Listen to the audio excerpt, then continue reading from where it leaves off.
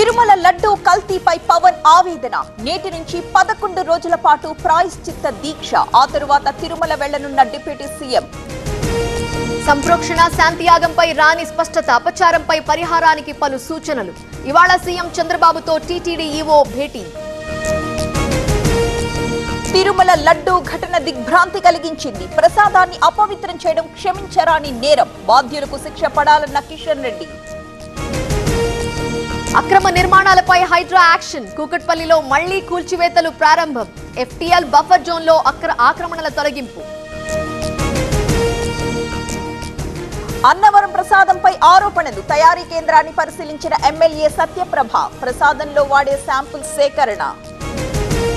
జమిలి ఎన్నికల ముసుగులో బీజేపీ కుట్ర. సీతారాం ఏచూరి స్ఫూర్తితో పోరాడాలి. కాంగ్రెస్ శ్రేణులకు సీఎం రేవంత్ పిలుపు.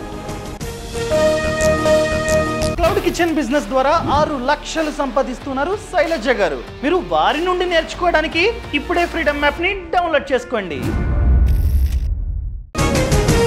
విదేశీ పర్యటనలో తెలంగాణ డెప్యూటీ సీఎం అక్టోబర్ నాలుగు వరకు అమెరికా జపాన్లో టూర్ మైనింగ్ గ్రీన్ పవర్ పై భట్టి బృందం అధ్యయనం.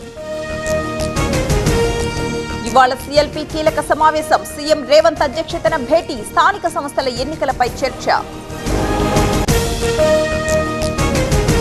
సీఎం కుటుంబ సభ్యులు అవినీతికి పాల్పడ్డారు. ఒక్కో స్కామ్ బయట పెడతా. మా దగ్గర ఆధారాలున్నాయన్న కేటీఆర్. పాడేరులో మారిన వాతావరణం దట్టంగా కురుస్తున్న పొగమంచు వాహనాల రాకపోకలకు అంతరాయం.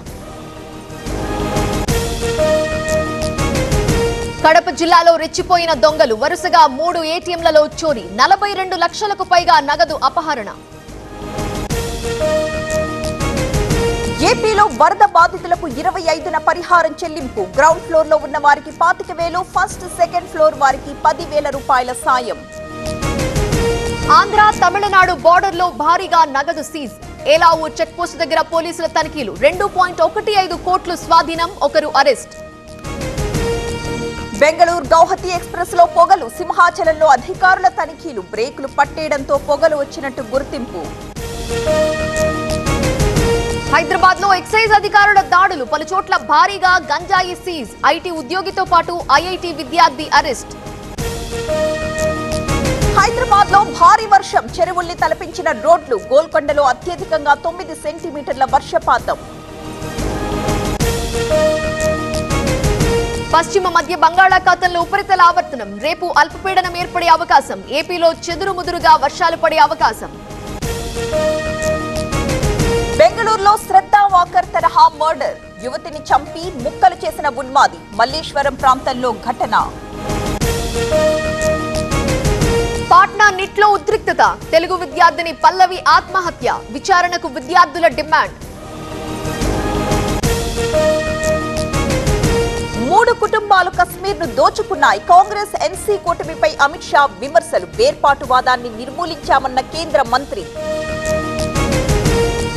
అమెరికా క్వాడ్ సదస్సులో పాల్గొన్న మోదీ భారత్ అమెరికా జపాన్ ఆస్ట్రేలియాల మధ్య సంబంధాలపై చర్చ.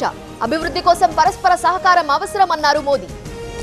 తమిళనాడులో కుప్పకూలిన నిర్మాణంలోని ఫ్లైఓవర్ ఆరుగురు కూలీలకు గాయాలు ఆసుపత్రికి తరలింపు అంబూర్ బస్టాండ్ దగ్గర ఘటన.